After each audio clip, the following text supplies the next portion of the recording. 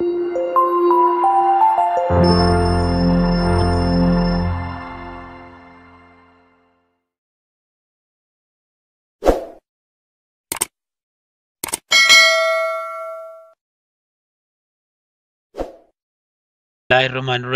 السلام علیکم ویورز۔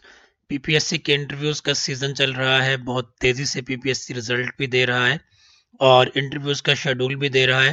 تو اس حوالے سے وہ تمام کینڈیڈیٹس جن کی دو دو ڈگریز ہیں، ان کے کوشچن یہ تھے کہ ہم اپنے انٹرویو کے دوران اپنی دونوں ڈگریز کا بتائیں یا نہ بتائیں، آج کی ویڈیو اسی کوشچن کو آنسر کرنے کے لیے بنائی گئی ہے۔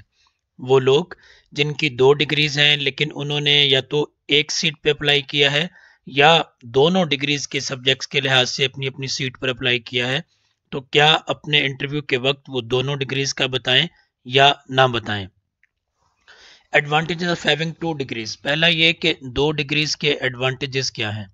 ایک یہ کہ آپ ایک سے زیادہ سیٹ پہ اپلائی کر سکتے ہیں، دوسرا آپ کا نالج زیادہ ہوگا، لیکن اس میں کچھ پرابلمز بھی ہیں۔ پرابلم یہ ہے کہ جب آپ دو ڈگریز کا بتاتے ہیں تو انٹرویو لینے والے کی ایکسپیکٹیشنز بہت بڑھ جاتی ہیں کہ آپ بہت نالجیبل آدمی ہیں۔ آپ کے پاس دو ماسٹر ڈگری ہیں تو اسی اعتبار سے آپ کا نالج بھی ڈبل ہوگا۔ ایسی صورت میں پھر کوشچنز آپ سے دونوں سبجیکٹس پر پوچھے جا سکتے ہیں کہ آپ دونوں سبجیکٹس پر کوشچنز کو آنسر کریں گے۔ فار ایگزامپل ایک میرے شہر کا ایک لڑکا انٹرویو دینے گیا پبلک سروس کمیشن میں۔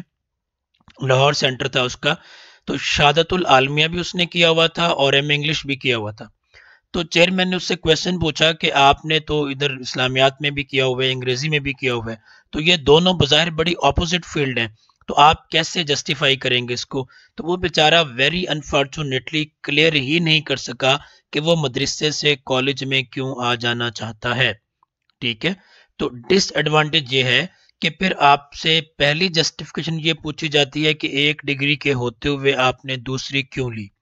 اب ظاہر ہے اس کا آپ کے پاس ایک سالڈ آنسر ہونا چاہیے۔ فار ایگزامپل آپ نے ایم اے اردو بھی کر لیا ایم اے انگریزی بھی کر لیا۔ اب آپ انگریزی میں گئے ہیں ایم اے اردو میں آپ سلیکٹ نہیں ہوئے، تو یہ بھی ایک نیگیٹو پوائنٹ ہوگا کہ جو آپ کی قومی زبان ہے، جس میں آپ نے کیا، لیکن آپ وہاں پر جسٹیفائی نہیں کر سکے اپنی پوزیشن کو، آپ اپنے انٹرویو لینے والوں کو امپریس نہیں کر سکے۔ تو اس لحاظ سے ایسے کوشچن میں آپ خود کنفیوز ہو جاتے ہیں۔ تو میرا خیال یہ ہے کہ آپ صرف اسی ڈگری کا بتائیں جو اس سیٹ کے لیے اپلیکیبل ہے، دوسری ڈگری کا مت بتائیں۔ ہاں جہاں پر کچھ ایسے سبجیکٹس ہیں جہاں پر دونوں ڈگریز کی بتانا مجبوری ہے۔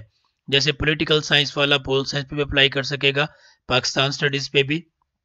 اسی طرح سوشل ورک والا سوشیالوجی پہ اور سوشل ورک دونوں پر، ٹھیک ہے۔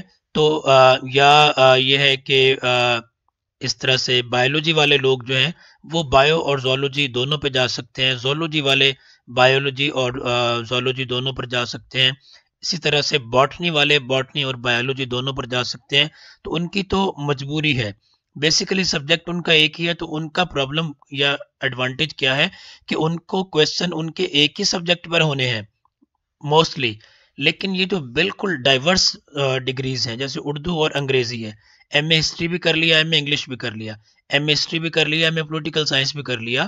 تو ایسی صورت میں یا تو آپ اتنے کانفیڈنٹ ہوں کہ آپ واقعی دونوں سبجیکٹس کے کوشچنز اگر آپ سے پوچھے جائیں گے تو آپ اس کو جسٹیفائی کر سکتے ہیں۔ تو ٹھیک ہے، ورنہ میرا خیال یہ ہے، میرا مشورہ یہ ہے کہ آپ صرف اسی ڈگری کو ڈسکس کریں جو اس سیٹ کے لیے اپلیکیبل ہے، نہ کہ آپ اپنے دو، تین، چار، پانچ ایم اے کو ڈسکس کریں۔ Thank you so much